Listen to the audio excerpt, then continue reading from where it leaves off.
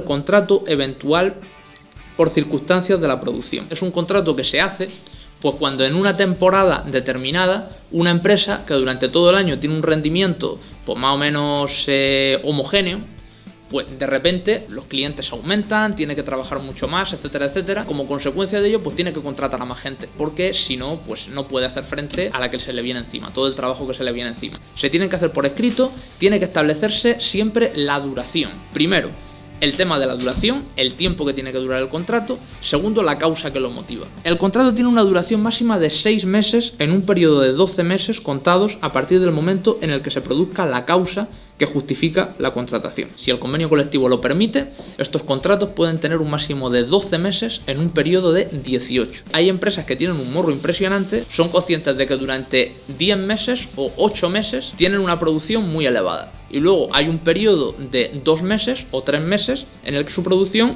disminuye en lugar de ser honrada y hacer contrato indefinido, lo que hacen es hacer contrato indefinido a una parte muy pequeña de la plantilla, fijo, y luego durante el 70 o el 80% del año hincharse a hacer contratos eventuales de este tipo, alegando que es que su producción ordinaria es la de esos 2-3 meses y que el resto del año, pues excepcionalmente la producción le sube mucho y se ven obligados a contratar eventualmente a gente.